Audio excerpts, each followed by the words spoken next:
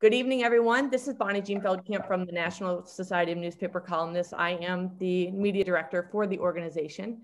And tonight with us, we have John Avlon from CNN and Mary C. Curtis from Roll Call.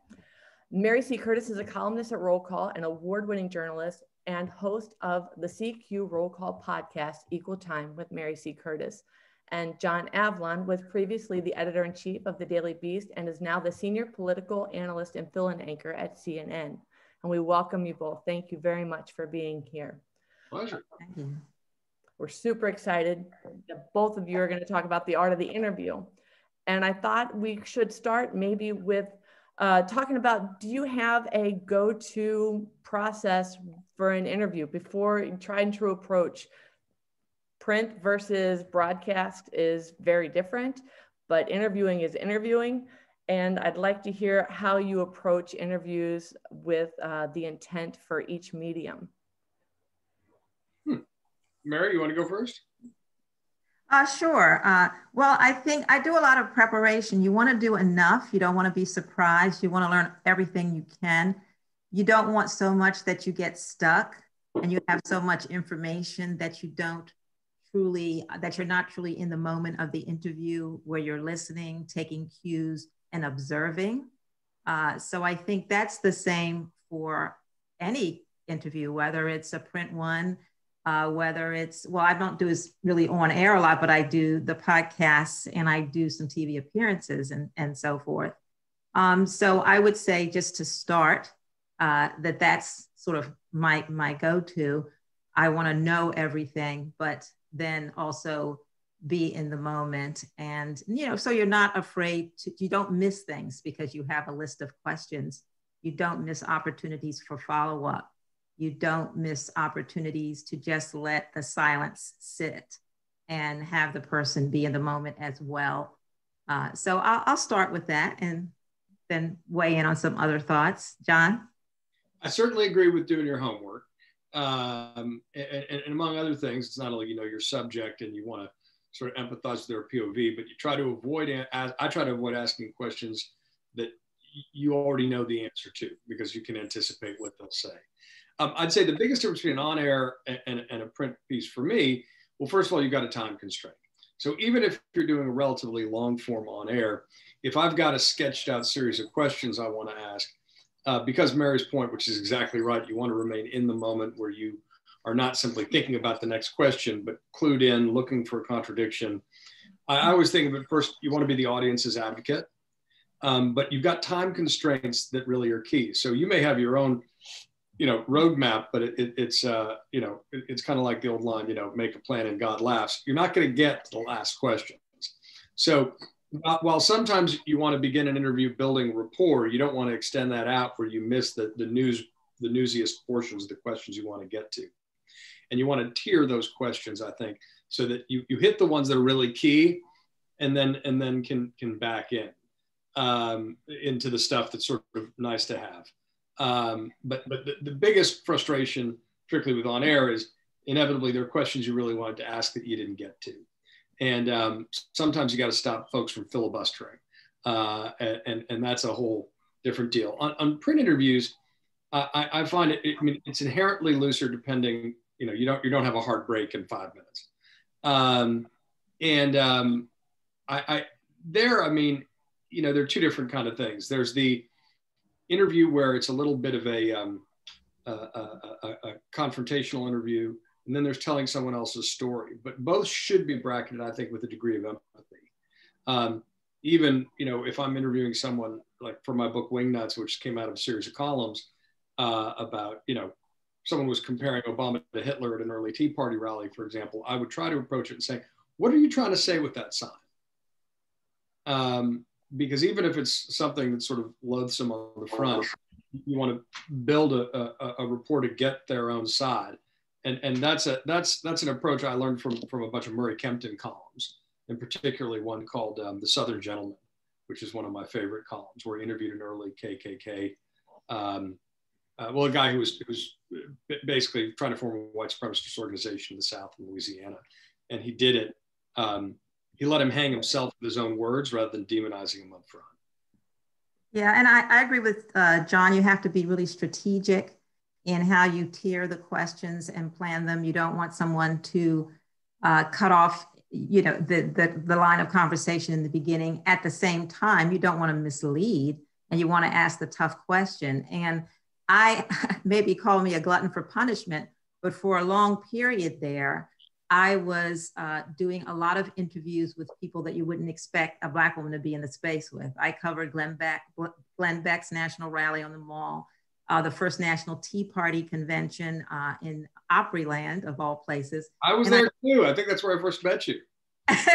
and I did, did a uh, long form narrative that won the Thomas Wolfe Award on Confederate heritage groups, which sent me into the field at different uh, restaurants, gatherings, meetings in which they did not have the American flag there. They had the Confederate flag. They sang Dixie and they ended with a, a Dixie yell. The first time that happened, I, I will admit I flinched. Um, and where people would say things, referring to what John said, such as uh, Abraham Lincoln was a war criminal and a tyrant who deserved what he got. Um, and I would like, I really was interested in hearing what people have to say. And I quickly learned that people want to tell you their story, they just do. And so even when I went into spaces where they would initially be a little apprehensive, at a certain point, they would want to tell me their story and convince me. Um, and in some ways, being a Black woman helped because at a place like the Tea Party Convention, they want to convince you that they believe what they believe, but not because they're racist. So mm-hmm. they be, in a sense, very nice. Um, and uh, so that was very interesting to me. And I got to be in those spaces. Uh, as he says with broadcasts, uh, it is, and I found this with the podcast because I do like to get rapport with people, especially in different spaces like that, is you do have the time constraints. And sometimes, as when, sometimes you can convince them to push it when I do it, like when I interviewed uh, Representative James Clyburn, the, that after he had been uh, uh, on the floor of the House all day and had been elected majority uh, whip. And he said, Oh, I'm exhausted. I'll give you 15 minutes. And, you know, at the end, I kind of had to stop him because, you know, but then again, we'll get into it later. But I, I brought up because I had met uh, his wife who died a year ago and was his confidant. So when you, you know, well into the interview, when you start asking, what would Ms. Emily think? And he starts saying, well, she knew it all along. It was going to be Biden Harris then that makes him warm, uh, warm up. So um, yeah, you, you you really have to think about being casual about things. yeah, that's such an important point. Looking for for ways to really connect and and and get a person to drop their talking points is, is one of the most important and difficult things. And by doing your homework and by finding those points of personal contact or asking questions, that take people off their their game.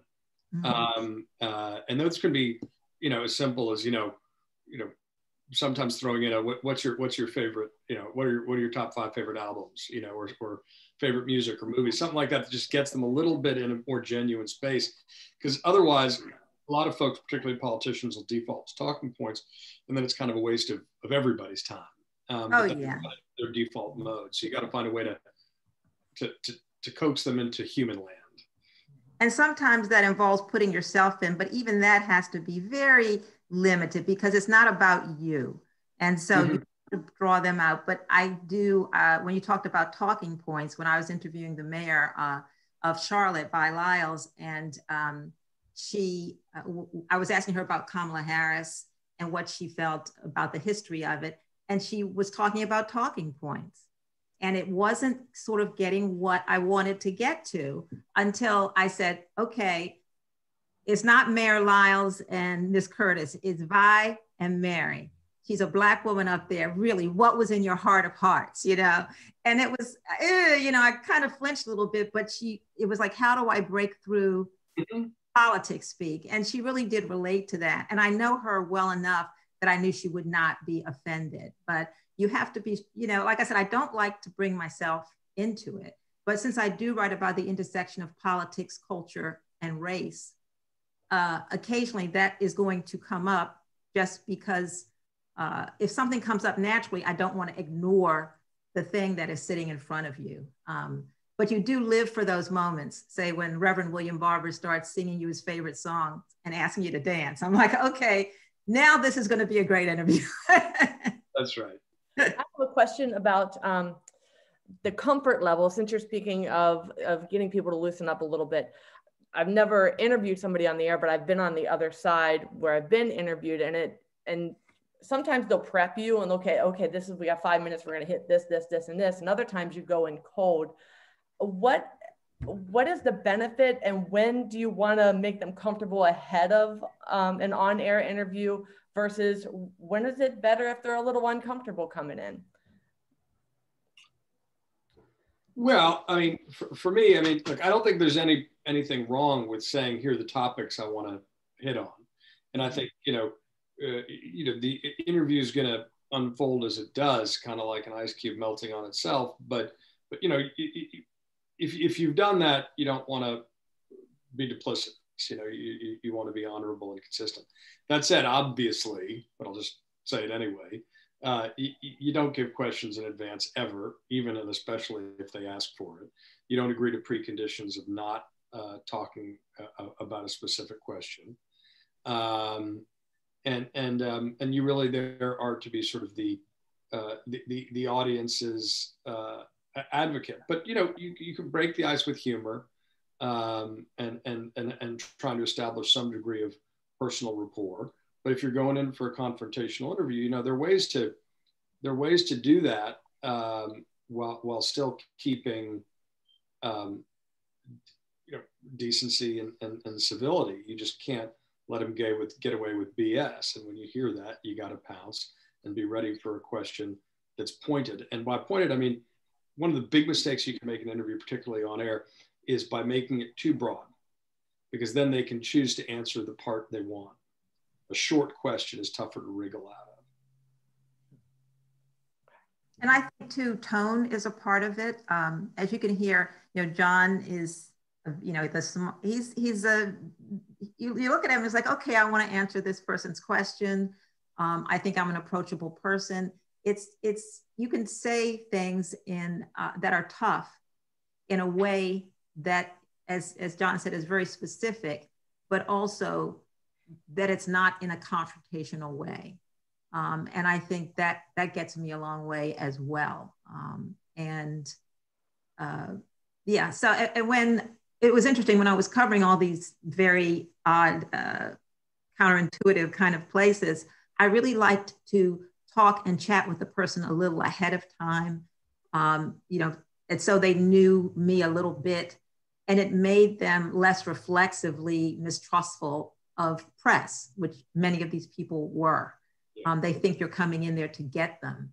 So when you start off not being dishonest, but just being uh, an approachable, kind person, then it's uh, they're less able to come back at you in a very confrontational way because it does seem out of proportion uh, if you ask them a question in a cordial way and they come back hard. And people have done that and listened to themselves sometimes they stop themselves short. I, I was really surprised by that. Mm-hmm. Curtis Honeycutt, who is actually one of our board members and he's a humor columnist, he wants to know what's the best way to break that ice with someone you're interviewing. You, John, you mentioned what's your favorite albums. Do you guys have a favorite question you like to ask somebody to just kind of loosen them up? I wouldn't begin with that to be clear, but but humor is always good. The humor columnist would probably kick both our butts on that front, but humor's good, Mary. Yeah, I, I actually, it's kind of, it's a question I ask people. Sometimes it's the last one. Sometimes, uh, you know, if I feel they're going cold, is what is a question that I haven't asked you uh, that you wish that I had because you have some really important things to say on that issue or something you want to say. Uh, and often I get very heartfelt, uh, personable kinds of answers on that. And in Clyburn, I, I got a very tough one uh, when he talked about African Americans who voted for Trump and what he felt. He gave you a little bit of history lesson about South Carolina, and it was a stunning answer. But uh, I find that that kind of opens people up because there's usually some burning issue on somebody's mind or something that they're passionate about and they want to share it with you. Mm-hmm. Well, Suzette Standring, you both know her, Uh, she says, You have great insights into breaking through resistance, but have you interviewed people who just won't drop their suspicions or presumptions based on you're out to get them? And how do you deal with that?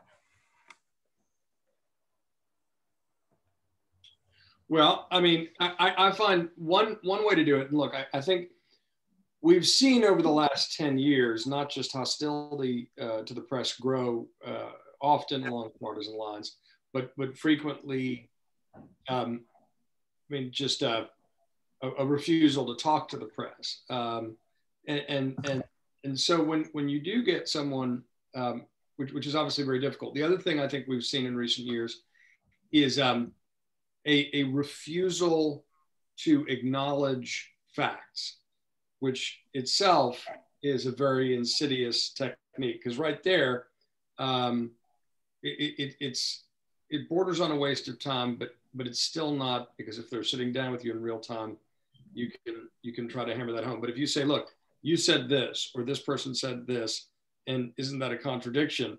And and they'll just reply by you know ignoring all that, uh, ignoring all the facts. That's difficult. So one way to to to bridge that stuff, especially up front, I find a question is is to quote them back to themselves. Um, and that requires again one of the key points you got to do the right homework. But if you quote someone back to themselves, or if you frame a question with, you know, I understand that you and many many of your supporters might believe this, but other people would say this. You know, because so so you're not coming at it in a hostile way, but you're confronting with facts, but also an understanding that a you've done homework, b a degree of, of empathy with their POV, and that's more likely to draw them out of their corner. Um, and and and, and that's I think that that's one technique. Yeah, that, it's tough though because sometimes even as John knows, when you nowadays confront someone with, say, their own words or someone there that they support their own words, they will basically deny they even said it. You could even show them the tape, mm. and I'm sure you've had that happen, John. Um, sure, no. I love and, I love pulling the tape. Yeah, yeah. I mean, that is just tough. And you, know, you have to admit, sometimes you just aren't going uh, to get through. Um, and, uh, you know, I've also been into spaces where it could be, you might feel at certain points uncomfortable to the point of danger, where you know enough to take yourself out of that situation. Um, but generally, I think, you know, the empathy piece and just sometimes asking people how they're doing, how's their day, or how's their family, or something as corny as that, uh, will break them down a bit. But uh, you do have people, you know, I've had people at the different rallies, uh, you know, just refuse to speak. But generally, I've found that most people, as I say, just want to be heard. And if you give them that, they're so used to people um, talking at them or disregarding them or disrespecting them that you know you don't have to agree with them but just say i i noticed this or you said this or you're wearing this when i go to different rallies and ask them about that. Um, it's i usually as i said maybe it's because i don't seem like a threatening person um, but people you know will will speak to me um, and others sometimes you are confronted with things that are so outrageous uh, that it's difficult to. And, and yeah, and, and, and, and, to that point, you know, so 10 years ago, and, and Mary and I both talked about covering the early Tea Party rallies. Um, you know, I forget who said this, but uh, one of the most terrifying thing in the world is everybody has their reasons. And, and, and that can include, you know, everyone wants to think of themselves in, in a positive light. I mean, so if, if you studied extremist groups or studied the Civil War, I mean, you know, folks believe that are, are absolutely convinced they're fighting for liberty, constitutional liberty, even as they're defending slavery, to use just one example. Um, so in, the Tea Party rallies, what I found interesting is that when I went up to someone holding a sign that said, you know, compared Obama to Hitler, um, I, would hear a couple of different things that in aggregate was very illuminating. First of all, they, to Mary's point, they very much wanted to be understood.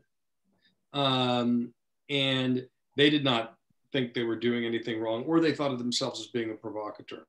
But what they would say is, well, a couple things. One, um, you know, they called Bush Hitler, so I figured it was fair game, right? So they do that kind of whataboutism of it. Uh, other things I heard early on, it was really interesting because it, it wasn't, uh, it was a common thread that was in contradiction with the alleged purpose of the protests early on, which were remember fiscal discipline. Uh, I'd hear a lot of things like, my family's been here for seven generations. Uh, and, and, and that spoke to about an anxiety, I think, um, of the, their family had been here and they weren't getting the opportunities they felt they deserved, right? And the way that uh, Obama was a uh, an avatar for a changing America, um, and they maybe felt they were getting left behind. Another thing you'd hear a lot, you'd hear a lot of people bring up on their own the date 2040 or 2050, uh, which is when they believed the census said America would become majority minority, even though immigration wasn't, you know, and, and, and those demographic changes weren't ostensibly what it was about. So letting people talk, um, you know, even though they'll put the best face on, on their, their beliefs, 99% of the time, um, in aggregate, it's really illuminating uh, still.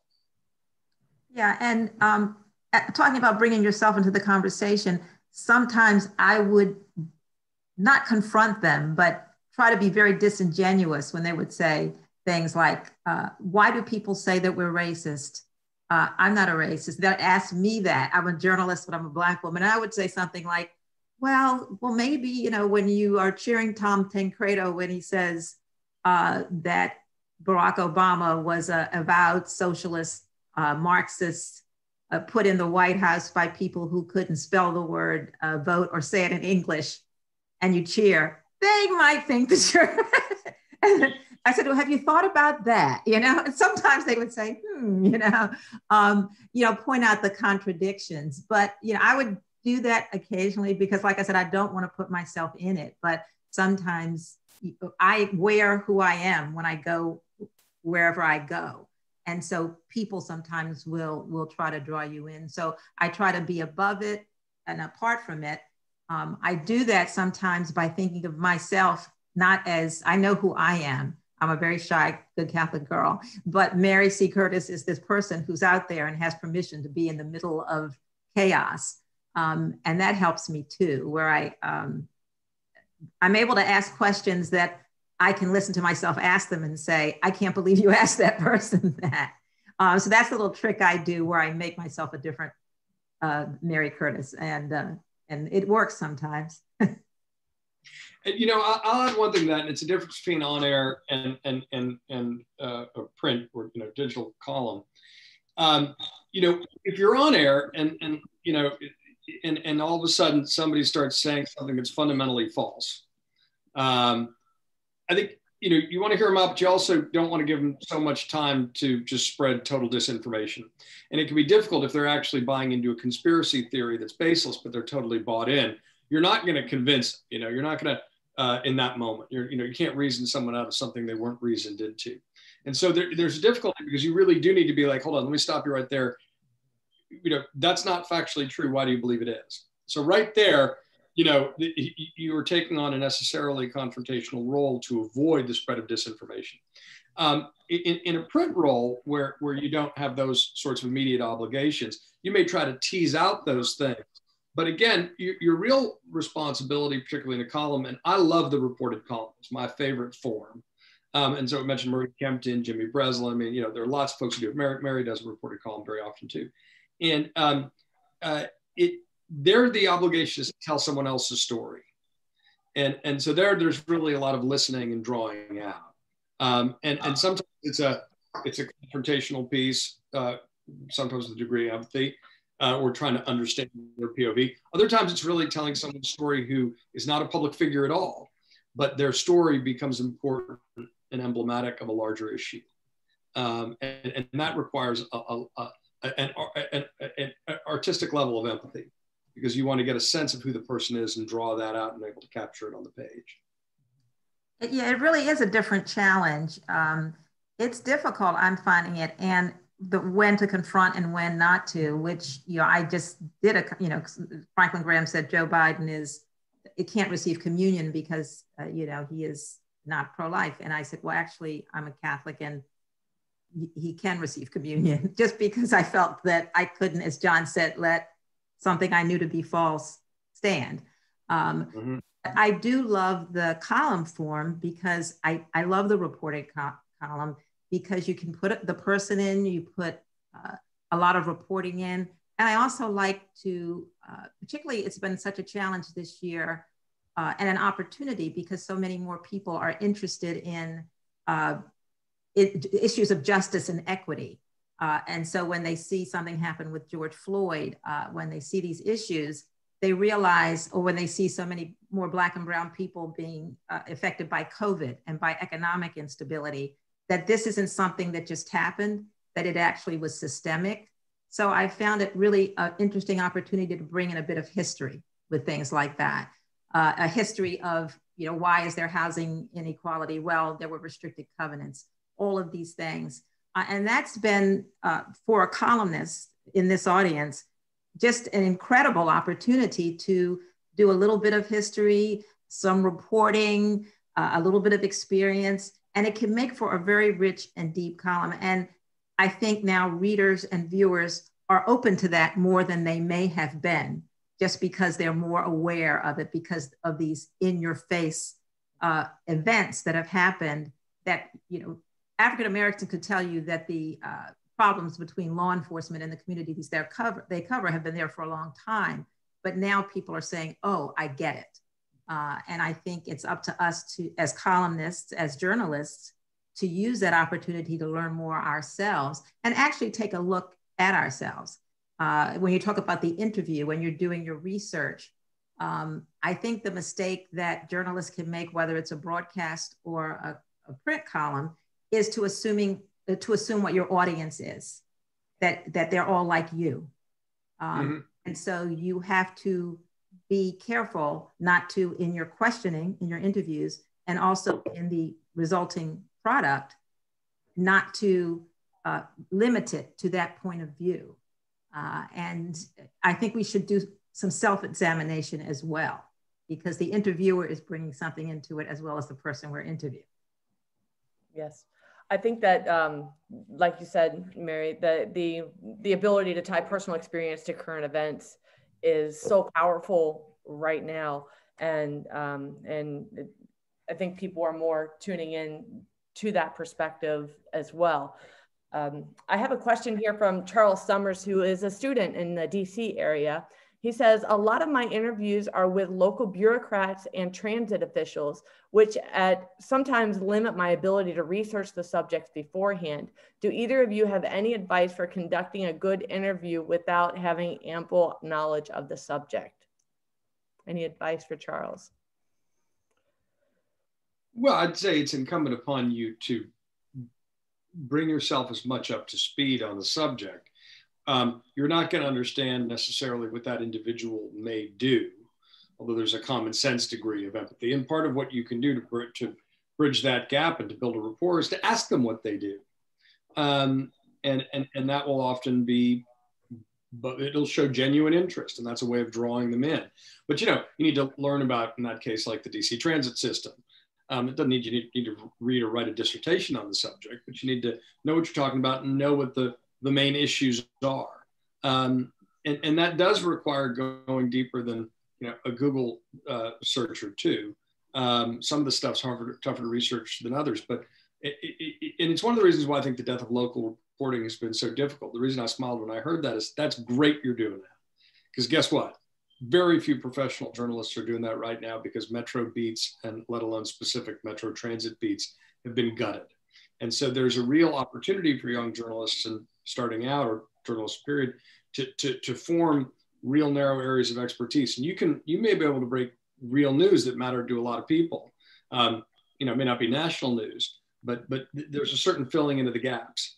And, um, and, and I think it's wonderful to be focused on that stuff because, you know, if, if you're if you're covering night court, I mean, traditionally that's how a lot of journalists got their start. They're great stories there, great human stories. Um, sometimes it's a big story, uh, but but it's a great way to, to, to to cut your teeth on exactly that kind of that kind of stuff. Yeah, never be afraid, as John said, to ask someone in any interview to explain something. Don't act like you know what a term is if you're not familiar with it. Uh, one, as I said, people love to explain what they do, but also if you don't know something, just admit it and ask. And research, research. Uh, you know, they, the old movie, way old, you know, All of the President's Men, but when they had the scene where they're in the library, you know, looking up records, the whole issue of public records reporting, so many great stories there. Um, and then you'll go into an interview with so many facts that people won't expect you uh, to have.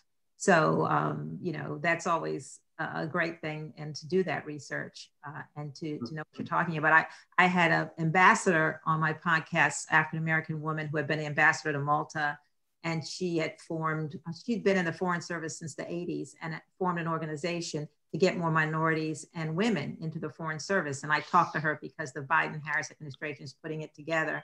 And it was scary for me because I did, I, I know a lot more about domestic policy than foreign policy, I will admit, and national security issues.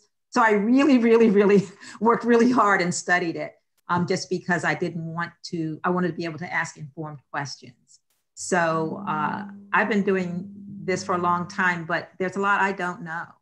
And so, you know, part of that is admitting what it is you don't know. I think that's one of the great things about journalism. It's not about having all the answers. It's about asking the questions to provide the answers to the public. And that's kind of our job. And and on that kind of vein, especially with we're in a pandemic, people are zooming, if we're not phone calling, there's definitely emergence of um, email questions? Can we do an email interview?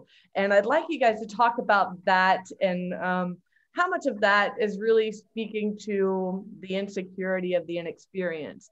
And what are some advice of, of getting over that and, and being willing to go beyond? Let me email you some questions and we'll get some email results and I'll put together a, a column from there because I, I do see, and I see that requested on the other end. Can you email me the questions and we could do this by email? No, we really need to talk on the phone to get to know one another. What are your feelings on, on that?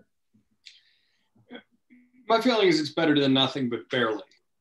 Um, uh, you know, and, and, look, I understand why people, um, you know, especially if they're nervous about being misquoted and all that. Um, but frankly, most often they should just be, they're just nervous. Um, and um, I think it's better to say, hey, why don't we have a, a, a background conversation first? And, uh, and then, you know, halfway through say, let's, we just go on the record for a little bit?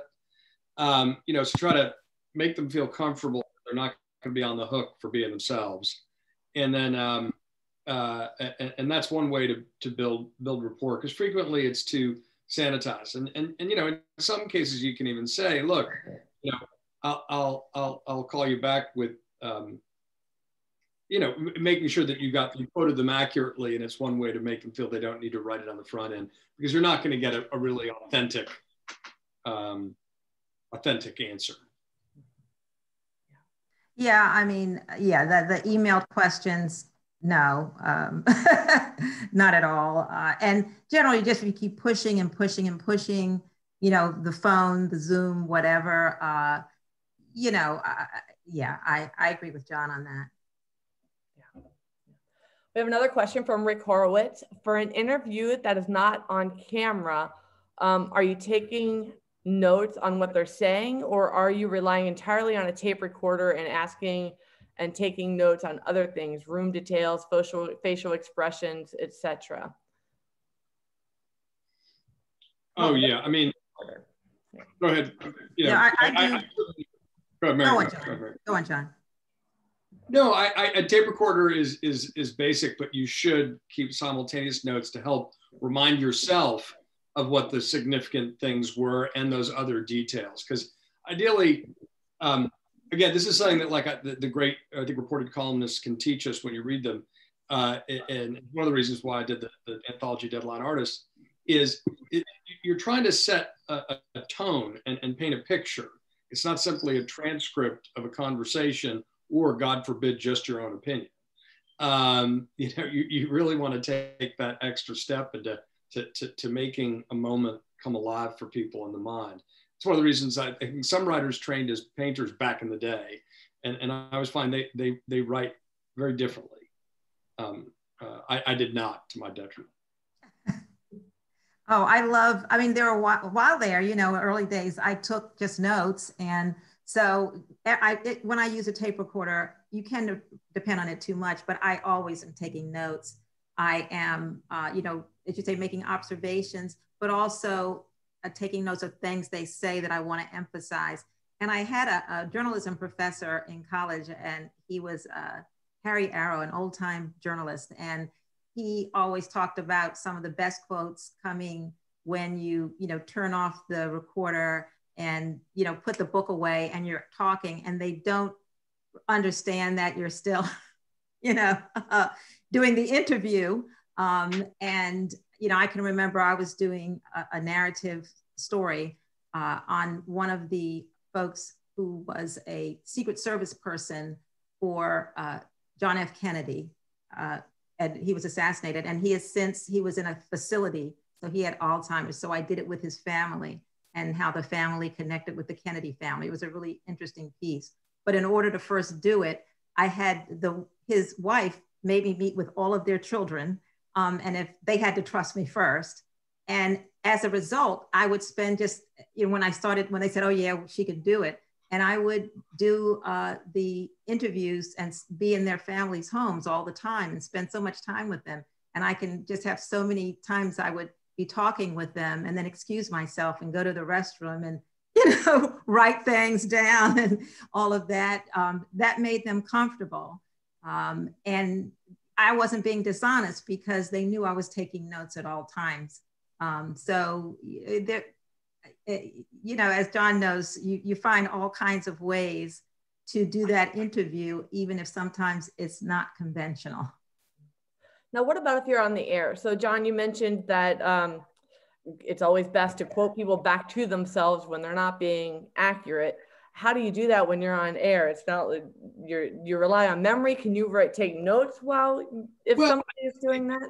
it, you know, look, I, I, do think in some cases it's incumbent upon an anchor to be a real time fact checker if folks are lying. That requires knowing your subject and, and doing your homework.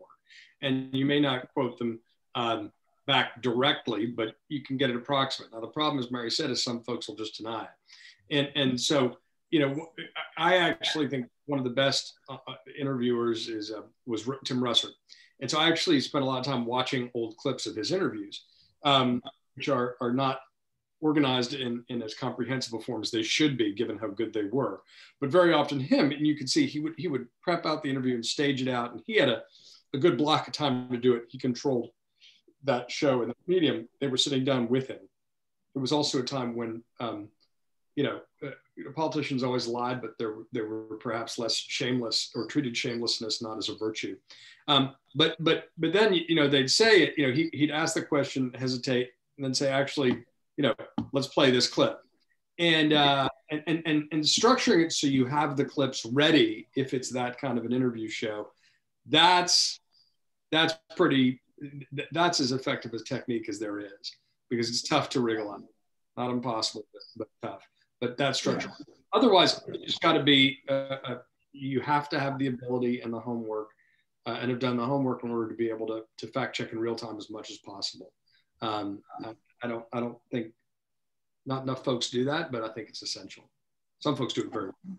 And you also have to have the um, you know the ability to ask the same question if they don't answer it. Um, mm-hmm. Particularly politicians are very uh, skilled in saying you ask a question and they have the three things they're going to talk about and they keep saying it in different ways. And you see some of the journalists. I just recently saw an interview that uh, Hallie Jackson did on NBC, I think.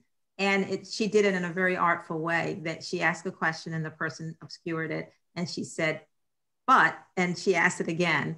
Uh, and the person never did really answer it, but it was very clear that the person didn't answer it. So uh, it was very skillful in the way she, she never came off as being disrespectful, but she wasn't going to let the person get away with not answering the question. Uh, and so, and that's a really uh, great skill as well. And, and the, to that point, the follow the follow up question is key. Yeah. It's actually an obligation. You know, you, you don't just let them get away with with trying to spin their way out of something. Mm-hmm. Definitely, yeah. That's what that's what comes from the listening. If you have a, a, set of questions and you go on to the next one, like you said, you'll miss the part about you know, and Obama's Hitler. That's okay. The next question, you know, um, Uh, and, and that's hard uh, to do when you have that time constraint and you want to get everything in. But sometimes you have to know it's going to go off in a space. But if you don't, you'll listen back to it and say, why didn't I ask? Oh, how did I miss that? Why didn't I ask that follow up? And I've done that myself, but it's a learning process. Uh, yeah. Now, Mary C, when you're recording a, a podcast, how much of the the while you're in it note taking or flipping through your notes audio is such a concern just being interviewed on podcast i'm afraid to move so how do you manage that as an interviewer when you're recording a podcast it's really tough um, you know and i do have i do my intro my outro i have my script and i have some questions but i also try to keep it conversational and i try to listen uh, and and make sure that I try to stay in the moment. And they want me to bring my personality into it. And I'm still learning that. Uh, and sometimes it works more, it works in a way that's more skillful than others. But I know when I've hit it, when you you listen to them and you bring in a little bit of yourself, but then you also keep them on point. Uh, and also the part of it is how when someone, as John was saying, is going on and on and on, you want you don't you want to to steer them cut them short but also uh, not just come in and, and be very obvious about interrupting them in the middle of giving an answer uh, and so um, it's it's difficult but i have my little notes and things and uh, I, I, I try to get good storytellers uh, so i have to get them to get their story out keep it short and then for me to also jump in when need be but but it's it's very difficult. Now, Ivy has a question. She says, What are some strategies to carry on the interview with someone who is combative? Thinking about Trump walking out of 60 minutes. A lot of that's been happening lately of people are just, okay, this interview's over and I'm going to walk away. So, how do you hold them there if you're having a difficult conversation?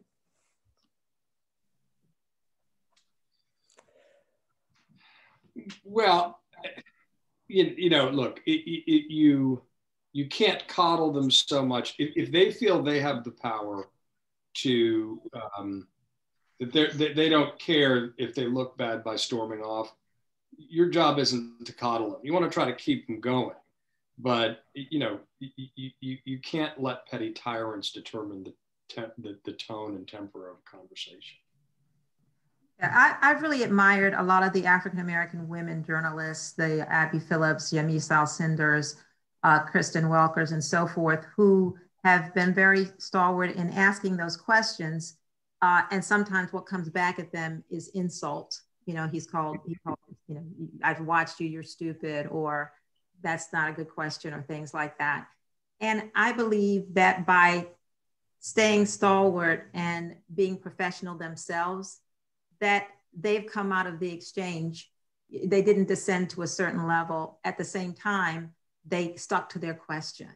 And, uh, I, I think that the viewer can see just what's going on. And, uh, and even sometimes I, you know, in the, in the debate where that Kristen Welker was moderating, even Trump had to say, you're doing a good job because she was very professional uh, in that way. Uh, and I think, you know, I think Chris Wallace has done great work.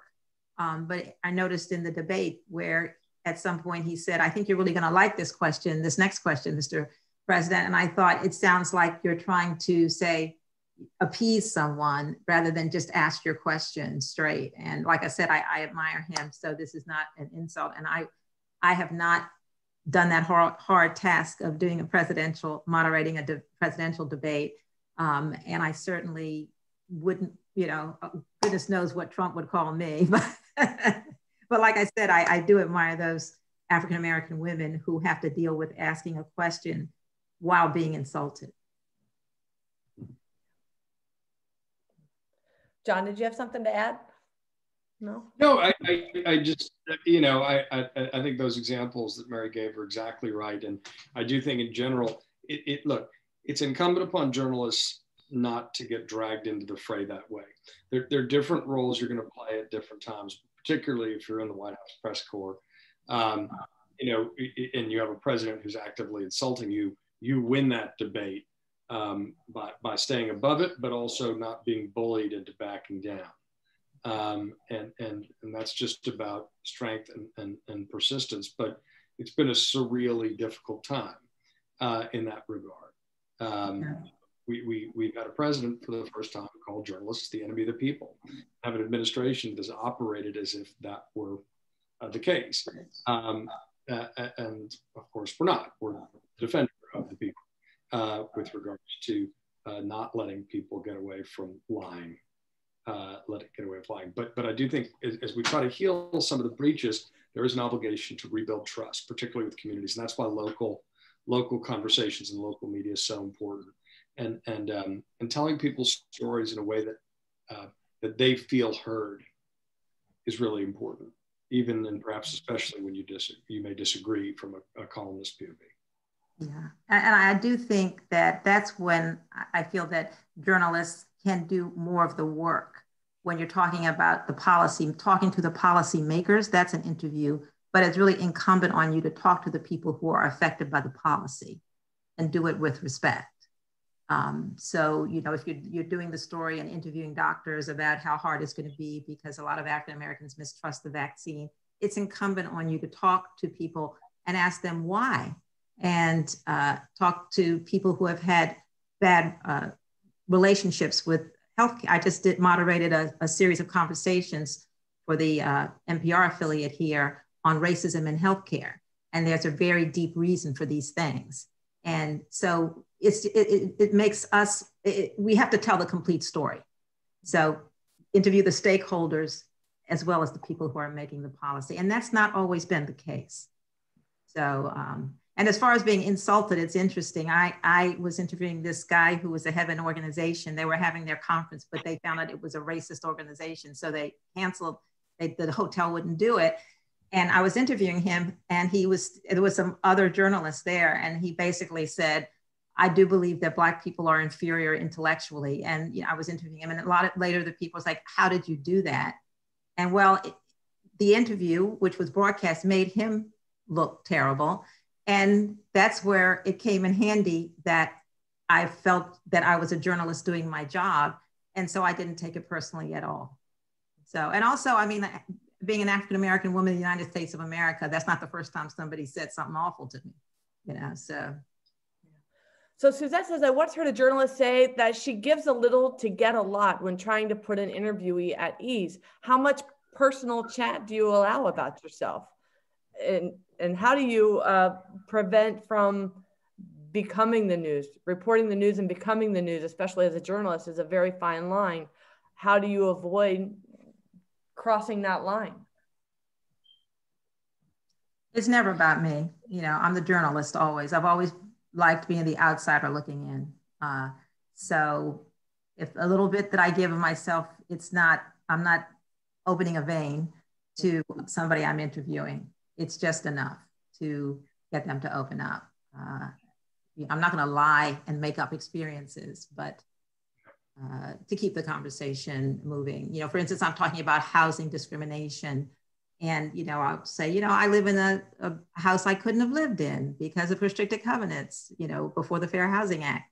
And which is true, but it's kind of dispassionate, but it opens up the conversation to the history of, you know, restricted covenants. So but I, no, I, I, when I say that you make them comfortable, I don't mean that you're their buddy.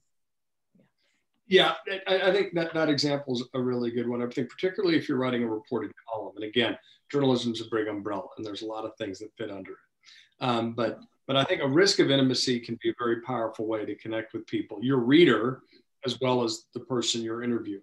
But but there is that line between you know it's not about you you're telling someone else's story, you're trying to get to the truth, or you're being on air, the audience's advocate. Um, that also is not about you. Um, and again, but you need to be authentic to who you are. Authenticity reads on the page and on screen, uh, and, and, and that's awfully important. Um, but but you know, so you want to be authentically yourself, but not think it's all about yourself because it's not. Even when you're writing a column it's not. and it's interesting to use a non-journalism uh, example. When I was doing reporting on all the presidential campaigns, it was so interesting that no matter what political party, with a few exceptions, of course, because we saw some of the insults that people were from, so many people loved Michelle Obama. And that's because she was so authentically herself. She wore uh, Princeton and Harvard law very lightly, and people got that. And you saw the genuine, you know, I would be at a very Republican kind of you know, right wing, and if she would come up, someone would say, you know, I, I, I could go shopping with her or something like this. And that's really difficult to do. If every politician uh, or journalist had that way of being authentically yourself and conveying that to people, that's gold.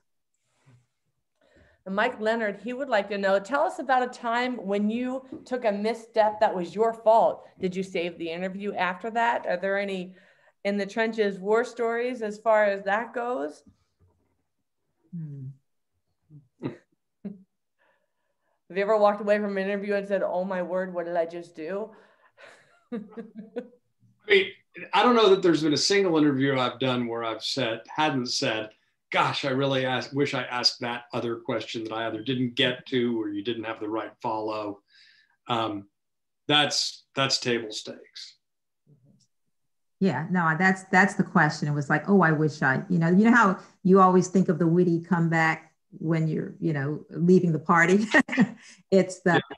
why didn't I? Uh, how come I didn't think of that? Whatever. But the moment you stop doing that, as I said, I'm constantly learning uh, and trying to get better. And so, but I, yeah, I have left one and said, "Ooh, why didn't I do that?" Or I missed that opportunity, something like that.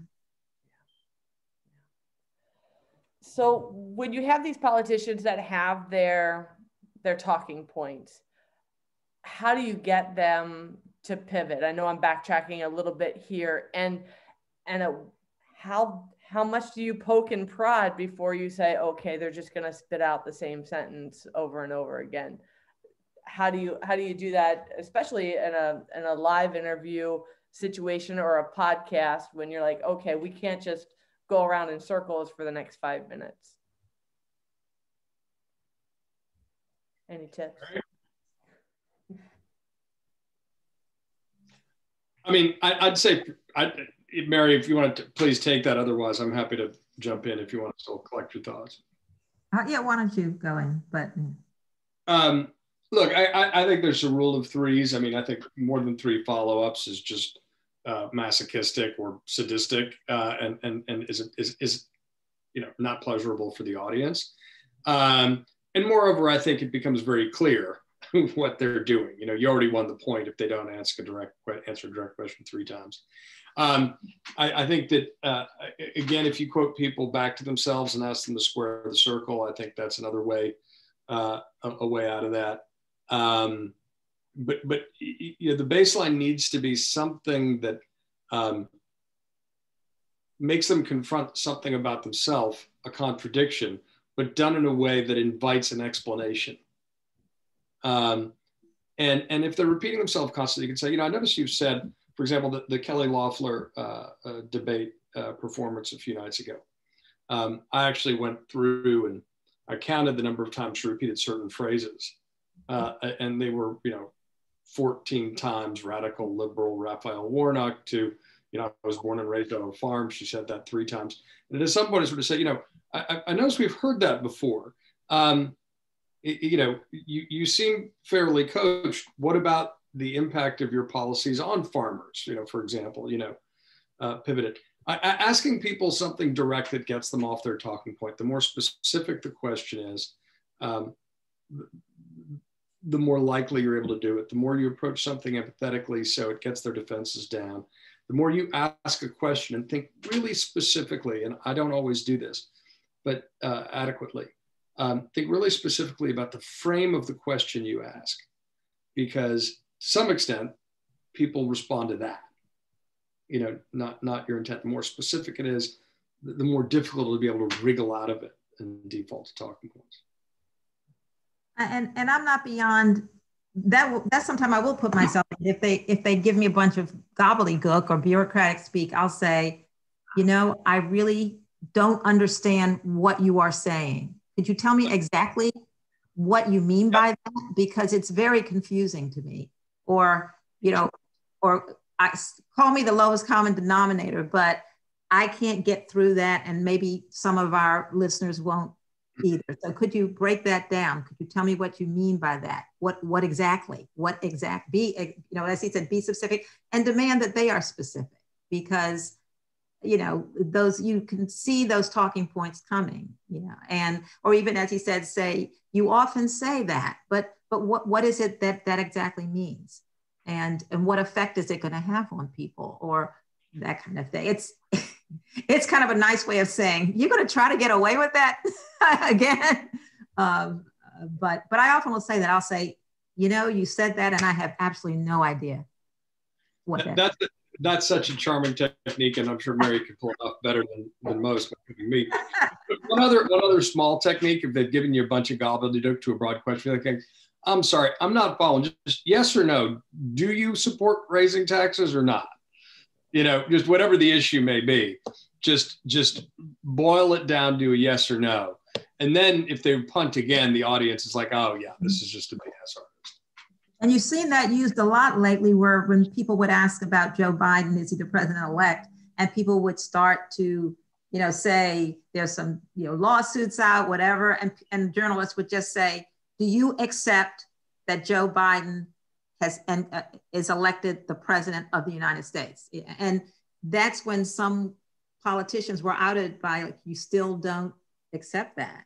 Um, and that was interesting when the Washington Post actually just went to every single congressperson, mm-hmm. representative, and senator and asked that point blank. Uh, and that was a story because people had to say yes or no or no answer. And so you knew right ahead what the deal was. Um, yeah. Final question. Um, interviews can be intimidating, especially for journalists and students coming out and um, beginning journalists any final thoughts, encouragement on holding our local officials, national officials to account and getting the story when you've got to ask big questions as a small fish in a little city pond? Question. Mary? I would just say, because uh, I was there, I would go into rooms when I was first starting out, whether it's a city council meeting or whatever, and you're asking somebody a question and I would be young and I would be a woman and I would be an African American. And there would be a lot of people who really would want to dismiss me for any one of those reasons. And the, what I just did was I just, I, and I learned a lot of this through, I worked with folks at the Maynard Institute where I was in their editing program. And this was a program started by Nancy uh, and Bob Maynard uh, for minority journalists. Now it's really open to everyone. And they really stressed excellence, be excellent just work very hard and have your reporting and have your facts and do your homework and go in there so prepared that you really have that. That's what you have. And that's always stuck with me. Probably made me a little bit of a workaholic. Um, but when I was younger, that really helped get me through that nervousness that is really only natural, is to have it, eh, to know that you have done everything that you can do and, and be professional in every way. Yeah, I, I, I, would only add to that that nervousness is normal, particularly when you're starting out. Um, you know, the first time I, I did TV, I was so nervous that my heart was beating so loudly that I didn't even hear the question that was asked to me. Uh, and, and now I seem to do it for a living. So, or at least part of what I do. Um, so, and I would say, look, sometimes being young, a student journalist actually is a massive asset because you may be able to get an interview from folks uh, who who wouldn't normally say yes, um, either because they're flattered or they're maybe they're they're at war with the local paper and they'll think that your interview is non-threatening. So then go in, be friendly. Uh, that matters enormously. Just if you go in, in an adversarial way or a humorless way, you're not going to get people will be on defensive from jump. But if you do your homework as Mary just said, and you go and you, and you know the, the biggest, the, the top three questions you want to ask, um, and, and make them specific, you'll get something you can use. And, uh, and that can really make a difference. So don't be deterred by the fact that you're young. Just do your homework, be friendly, know what your focus is going to be, um, and, uh, and, and tell the story.